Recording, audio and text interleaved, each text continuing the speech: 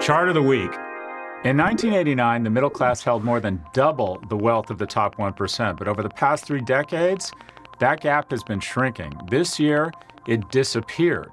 The top 1% of the country is now wealthier than the middle 60%, and the middle class owns 27% of the nation's wealth. What's going on here?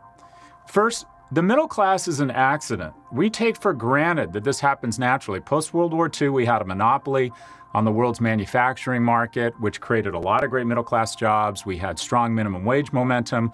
We had strong unions. The middle class is, in fact, the ballast for a nation. They fight our wars, they create harmony, they create the national dialogue. That is why, technically, a country exists. But between a networked economy and taxes going down, and politicians who have effectively been overrun or co opted or just basically become the bitches of the top 1%, we've seen a natural flow towards the top 1%.